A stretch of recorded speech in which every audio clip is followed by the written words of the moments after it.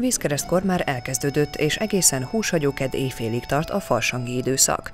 Ez az ünnepkör hagyományosan a vidám lakodalmak, bálok, mulatságok, népünnepélyek ideje. Most a farsangi időszak, ez a hat hét, ez ugye a régi időben az egyház is ez ellen egy kicsit azért néha ágált és rosszalta, mert ilyenkor hát elszabadultak a jó indulatok, és ezt most úgy értelmezzük, hogy a farsang arról szél, hogy báloknak, táncoknak, házasságnak, disznótornak, és minél-minél több ünnepnek és vigasságnak kell lenni.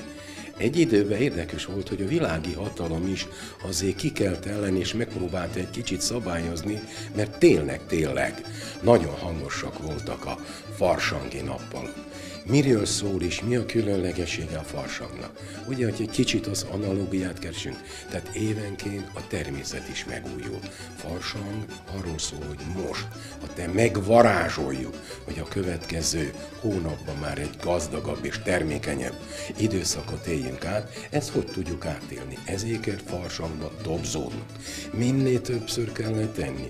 A régi hagyomány azt mondta, hogy reggeltől estig enni kell, mert hogy meg kell kell varázsolnunk, elő kell varázsolnunk a jövő gazdagságát, a jövő bőségét. Ezt nem csak étellel, itallal is kellett ugye fűszerezni, és ugye a másik, ami nagyon különleges, ez az időszaka annak, ugye arról beszélünk, hogy a termékenység.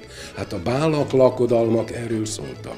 Az a rengeteg bál, ami azelőtt farsang időszakában volt, az történetesen tényleg azért volt, hogy a fiatalok megismerkedjenek, és a következő következő farsangban már a gyerekeik táncoljanak. Ugye a másik talán, és nagyon szép és kedves, a farsang időszakára az, hogy milyen jellegű és honnan jött ez a hagyomány. Ugye, hogy azt mondjuk a farsang, ez valójában svábos némes kife, német kifejezés. Ezt a farsangolást a falusi egyszerű ember a falun tartották, ott a farsanga neve. Ugye a nagy, a királyi udvarban, a főuraknál pedig nem farsangoltak, őnáluk karnevál volt, és miért? Hát ugye tudjuk, hogy a királyaink általában majdnem mind Olaszország területéről hozták a mennyasszont, vagy onnan nősültek, és az olasz hagyományokat hozták be a karneválozást, úgymond a királyi udvarba.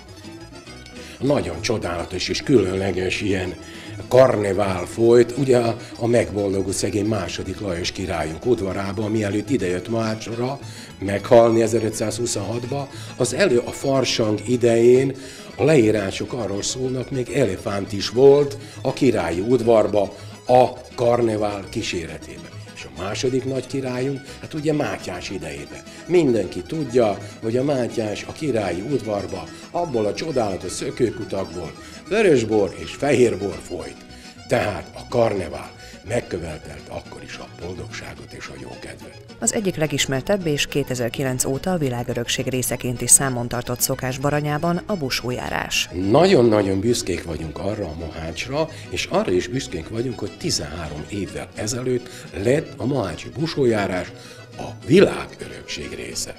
Honnan is eredeztetjük a húsújárás hagyományát? A történet és a hagyomány, a folklór azt mondja, hogy ugye abban az időben a már említett második Lajost megelőzően, de ugye amikor itt voltak a törökök, 150 évig ők itt voltak nálunk, ám 150 év után egyszer a maácsi sokácoknak nagyon elegük volt ott a szigetbe, és a hagyomány azt mondta, hogy egyszer csak az egyik álmukban megjelent, hát meg kell nyúzni a birkát, magukra kell húzni, fából csodálatos állarcot kell készíteni, azt marha vére be kell festeni, fából kardokat faragtak, kereplőket fogtak, mi egymást tűzrakó, tűz alkalmatosságot hoztak magukkal, átkeltek a befagyott Duna jegén, és a Mohácson alvó törökökre rárohantak, és ugye az a bau, bau, ezzel a hangos ordítozással, ezzel a kerepléssel, zörgéssel, és ezzel az ördögi pofával a törökök nagyon megijedtek, és elmentek Isztambulba.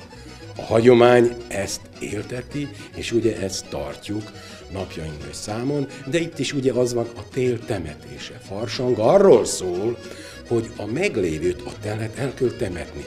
Tehát valami öröm kell, mert készülünk a következőre, és Tehát ezért van az, hogy a farsang időszakában, ja, és farsangnak ugye az utolsó farsang farka, hát akkor engedj el a hajam, tehát a hagyomány azt mondta, akkor tényleg, tényleg, mindent, minden szabad, és talán még megengedhető az, hogy Temesvári Pelbártot idézzem, szegény, ő azt mondta, hogy elkövetkezett az esztendőnek azon napjai, amikor az emberek kivetkeztek magukból. A farsang farka farsang vasárnaptól húshagyókeddig tart az utolsó három nap, ami nagy mulatságok közepette zajlott. Ekkor rendezik meg a busójárást is.